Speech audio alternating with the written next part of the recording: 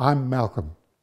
And the first thing I can remember is looking over a fence in Newport where we lived at the early part of the war and seeing all this dairy land, which is now all completely built out, and these magpies hovering around my head. My mother saw this and thought that the magpies were going to attack and came rushing out and shoot all the magpies away. I had a push bike and I decided that I was going to make a jet engine which I could fit to the push bike and take me up hills and, and save me pedalling.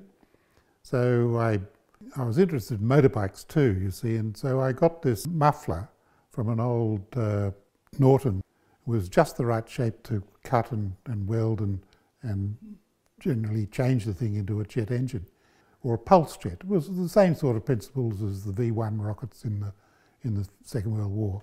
Much of the engine glowed orange hot and this was mounted underneath the uh, crossbar. If I'd got burnt, it would have burnt me in a very serious place.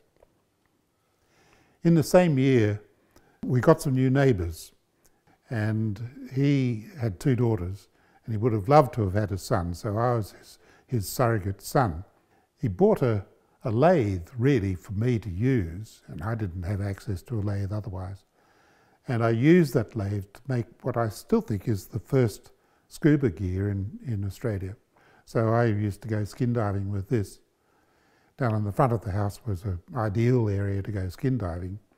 And there was a little pool, which we called the Fraz. And I would uh, jump into the Fraz with this scuba gear, just testing it out. And my father looked out the window to see me dive in and not come to the surface again. So he rushed down to the Fraz.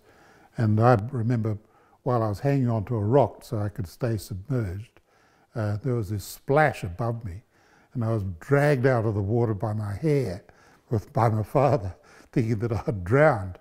But I was all right, and, and I was really just testing my gear, and I, that was Mark 1. I made three in the end. The Mark 1 didn't work very well, but by the time Mark 3 came, it was like a conventional scuba apparatus today, all the same principles. Yes, that was a bit of fun.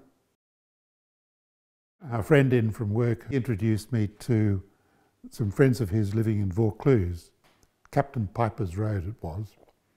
And there were three girls living there, and uh, Helen was one of them. And so I started courting her, and uh, we, we fell in love straight away, really.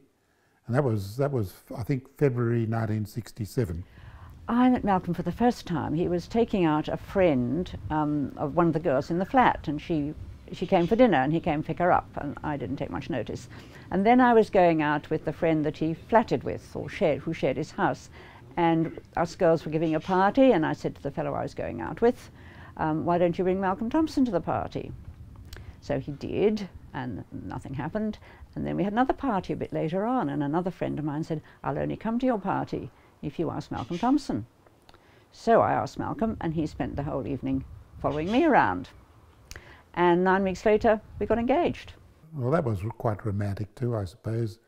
We we'd been to a picnic race meeting in Cootamundra, and on the way home, we were coming back over the Blue Mountains, and I stopped at um, on the Bells line of road, and there's magnificent view over the uh, over the valley there, Grose Valley, and uh, there Helen proposed to me.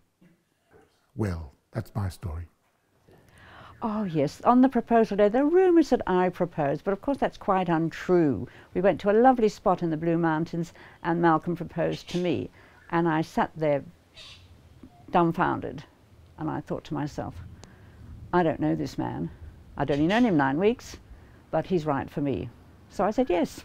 The best part, of course, of my life is meeting Helen and having a family.